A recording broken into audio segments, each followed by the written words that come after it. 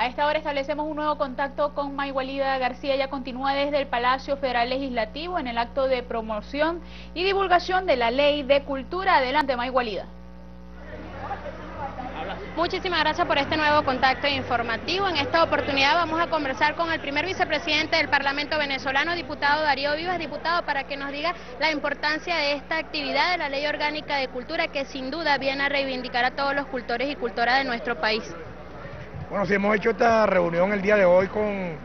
la, miembros de la Comisión Permanente de, Cultura, así mismo como la diversa voceros y voceras del,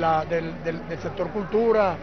en nuestro país que nos, que nos ayudaron y que contribuyeron y que cooperaron activamente en la construcción de esta ley orgánica de la cultura.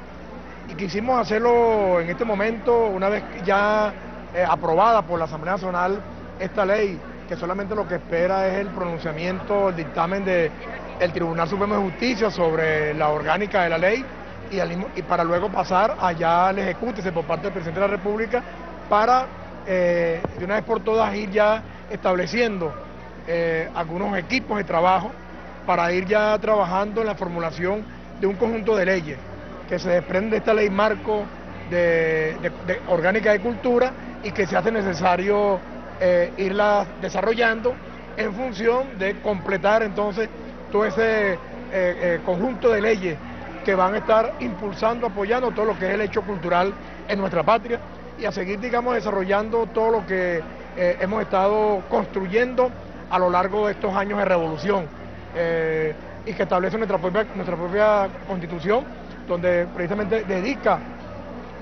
un capítulo completo de la constitución dedicada a todo lo que es la diversidad cultural, la cultura en general, el patrimonio cultural y no el apoyo, el respeto a nuestra cultura. Entonces nosotros estamos con estas leyes que estamos, eh, que, pensamos desarrollar conjuntamente con eh, los creadores y creadoras, eh, darle cumplimiento a lo que tiene la Constitución, pero más aún también darle cumplir con el legado de nuestro comandante presidente Hugo Chávez, que ya nos lo decía él en el plan de la patria 2013-2019, donde nos señalaba que había que profundizar, organizar, buscar las distintas expresiones culturales y los distintos métodos eh, organizativos para incorporar activamente al hecho cultural, a la vida nacional y al desarrollo nacional y a, los objetivos históricos que están planteados en el, plan, de la patria. Así que nosotros hemos acordado en el día de hoy, bueno, establecer las comisiones eh, eh, mixtas entre la ley, entre la comisión y los distintos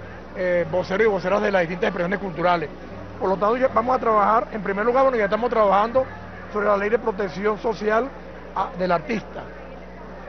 Y vamos a desarrollar las otras leyes, la ley de, diversidad y patrimonio cultural, la ley de gestión cultural, para de esa manera, eh, tenemos un año precisamente para adecuar esas leyes a esta ley orgánica de cultura. Y a partir de allí se estarán desarrollando unas cinco leyes más eh, para, eh, digamos, como decía, cerrar puesto un capítulo de la, de la cultura en nuestra patria y el apoyo que el gobierno le, viene dando a la cultura en nuestra patria. Diputado, pues el receso legislativo podría convocarse en los próximos días a una sesión extraordinaria para debatir la aprobación de la ley habilitante contra la corrupción. Eh, bueno, la constitución lo prevé todo y el reglamento lo prevé todo. El hecho de que tú estés en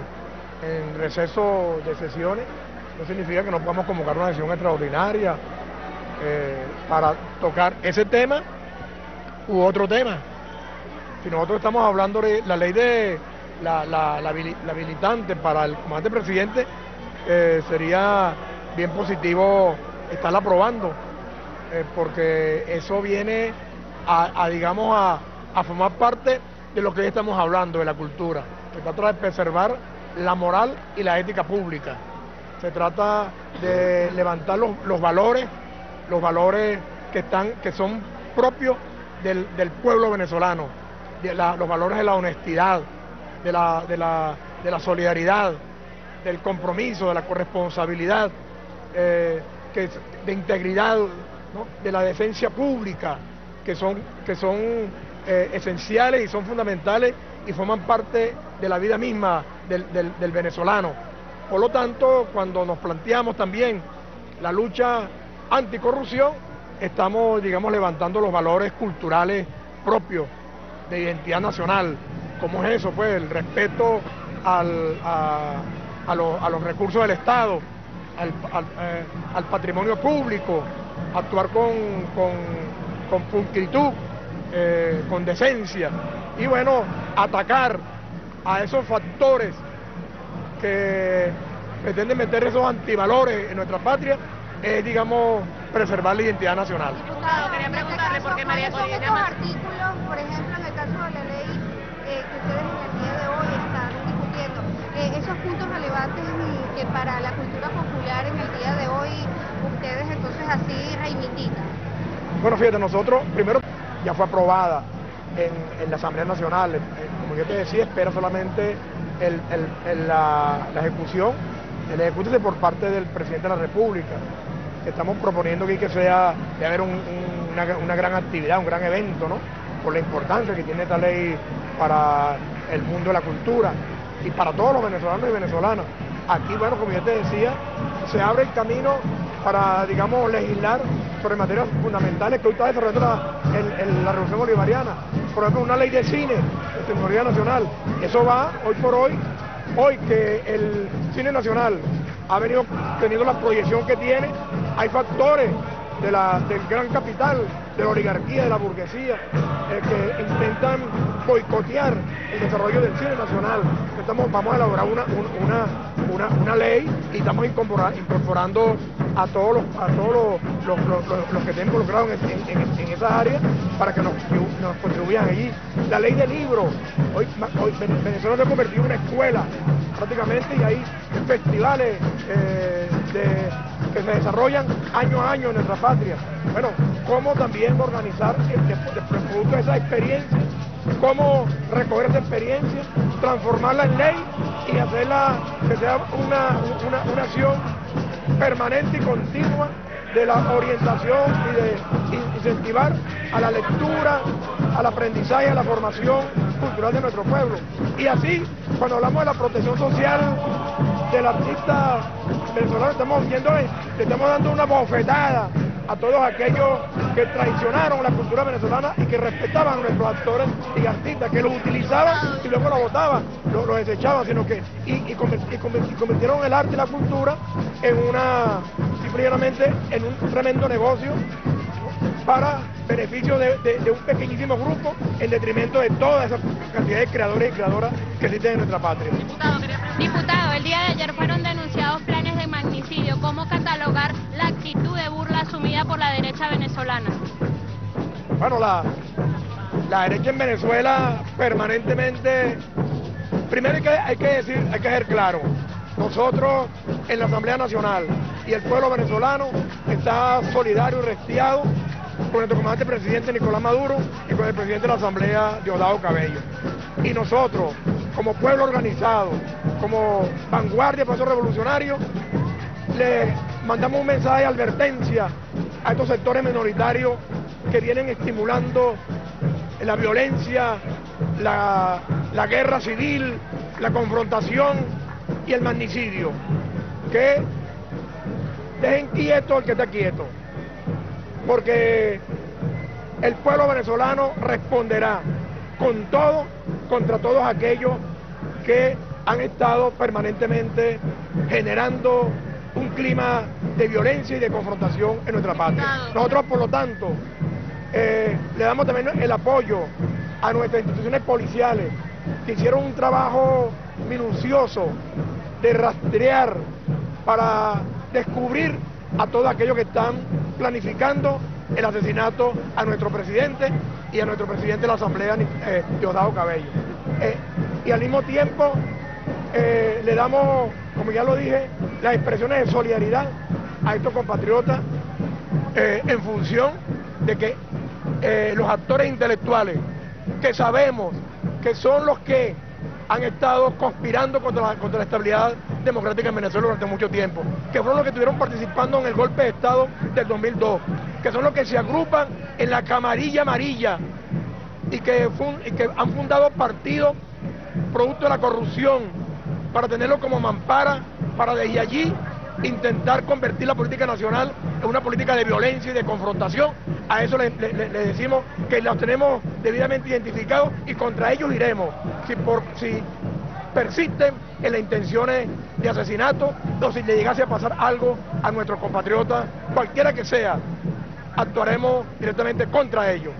Muchísimas gracias, agradecemos las palabras del diputado y, y vicepresidente del Parlamento venezolano, Darío Vivas. También vamos a tratar de buscar las impresiones de la diputada y presidenta de la Comisión Permanente de Cultura y Recreación de la Asamblea Nacional, diputada Gladys Requena, diputada en vivo y en directo para las pantallas de ANTV, retomando un poco lo que ha sido esta ley orgánica de cultura, esta sanción por parte del Parlamento venezolano, establece la ley, la creación de un plan nacional y de un fondo cultural para los cultores y cultoras, para que nos explique un poco este objetivo fundamental del instrumento legal. Sí, así es. La ley de cultura que hemos sancionado el pasado 13 de agosto en esta Asamblea Nacional tiene aspectos sumamente significativos para el avance cultural en nuestro país, como es la posibilidad de la construcción de un plan nacional de cultura con la participación del poder popular y por supuesto bajo la rectoría del Estado venezolano a través del Ministerio del Poder Popular con competencia en cultura. En este sentido estamos viendo la planificación cultural, la ejecución y el control de las políticas públicas en materia cultural, la estamos viendo desde la óptica de un plan de articulación nacional donde se encuentra el poder popular, se encuentran los colectivos culturales, los artistas, las cultoras y los cultores, se encuentran con el Estado venezolano, el ente rector para construir lo que debería ser ese plan nacional de cultura que va a ser, eh, va a encontrarse expresado no solo en el territorio venezolano, sino también a través de nuestras embajadas, a través de nuestros agregados culturales de las embajadas de Venezuela en diferentes países, porque precisamente hemos establecido un capítulo vinculado a la política cultural en el exterior que busca precisamente enlazar este plan nacional más allá de nuestras propias fronteras para que sea haya una unidad cultural en la planificación del Estado venezolano. Y el otro tema que por cierto ha sido muy atacado por la oposición venezolana es la creación de un fondo que solamente es atinente a las empresas que acusen ganancias superiores a las 20.000 unidades tributarias. Ese es el universo empresarial que aportaría al Fondo de Cultura. Es un fondo de corresponsabilidad. Estamos viendo la participación del sector público y privado que tengan ganancias excedentes superiores a las 20.000 unidades tributarias. Lo estamos viendo como un proceso de corresponsabilidad en la construcción nacional en materia de cultura. Resaltar que ese instrumento legal haya sido hecho en revolución, usted lo decía bien adentro durante su intervención, el primer cultor de nuestro país fue el presidente de la República, comandante eterno Hugo Chávez. Indudablemente le hemos dedicado este instrumento legal al presidente, comandante supremo, presidente eterno de los venezolanos y de las venezolanas, comandante Hugo Chávez. Eh, fue un promotor de la actividad cultural venezolana, fue un promotor del desarrollo cultural venezolano. Eh, Hugo Chávez precisamente es el autor de lo que es la política editorial en materia de todo lo que es documentos, libros, revistas, que no tiene precedentes en la historia política venezolana. También es el autor de la divulgación, de la promulgación de una cantidad de millones de libros que se destinan a nuestros estudiantes desde la e, etapa del preescolar hasta la educación diversificada. Y en este sentido, pues ha sido un promotor del Sistema Nacional de las Culturas Populares, del sistema de orquestas sinfónicas, juveniles y, e infantiles de Venezuela, ha aportado recursos para la actividad cultural sin precedentes también en el Estado venezolano. Y por supuesto, también fue un promotor de la ley de cultura, desde todos los espacios reclamó una ley de cultura. En este sentido, es un legado al comandante, del comandante Chávez esta ley orgánica de cultura que encontró esta generación de diputados de la, que, de la cual hago parte y que por supuesto en tributo a lo que ha significado el esfuerzo puesto por el comandante supremo para construir la nueva institucionalidad que soñó el constituyente en el año 1999, por supuesto creemos que hoy reivindicamos ese esfuerzo de, y ese compromiso con los cultores y cultoras del comandante supremo con todos los cultores y cultoras de Venezuela. Importante resaltar que la comisión a la que usted preside, diputada, también trabaja en la ley de la protección social integral del artista y cultor, para que nos hable un poco cuál será el objetivo fundamental de ese instrumento legal. Sí, a partir del segundo periodo comienza una nueva etapa en la Comisión de Cultura. Vamos a trabajar, ya aprobamos lo que es el cronograma de, ya discutimos y estamos por aprobar, perdón, en el próximo periodo, el cronograma de consulta pública de la Ley de Fomento y Protección de la Actividad Artesanal. En la comisión mixta, del cual la Comisión de Cultura hace parte, ya tenemos aprobado el cronograma de consulta de la Ley de Protección Social e Integral al artista, al cultor y a las culturas. De manera que en este segundo periodo constitucional daremos a los venezolanos y a las venezolanas una ley de fomento de la actividad artesanal y una ley de protección social e integral al artista. Pero además le estamos abriendo un abanico de posibilidades de propuestas a nuestro pueblo cultor para que comiencen a desarrollar el marco legislativo que derivará de la Ley Orgánica de Cultura que hemos planteado que en el periodo de un año debemos dictar la Ley de Patrimonio y Diversidad Cultural y debemos dictar la Ley de Gestión Cultural, pero además debemos adecuar todo el marco legislativo existente, que es preconstitucional porque está adecuado a la constitución del 61, adecuarlo a la constitución del 99. De tal manera que hay mucho trabajo para los cultores y cultoras. Vengan pues a través de la iniciativa de Pueblo Legislador, apórtennos los instrumentos para los años venideros de esta Asamblea Nacional. Bien, agradecemos las palabras de la presidenta de la Comisión de Cultura y Recreación del Parlamento, diputada Gladys Requena. Recordemos que el día de hoy se realizó el acto de divulgación y promoción de la Ley Orgánica de Cultura e Instrumento Legal que fue sancionado por el Parlamento el pasado 13 de agosto. Nosotros nos vamos a mantener aquí para llevarles a ustedes cada uno de los detalles. Por lo pronto retornamos con ustedes a los estudios. Adelante.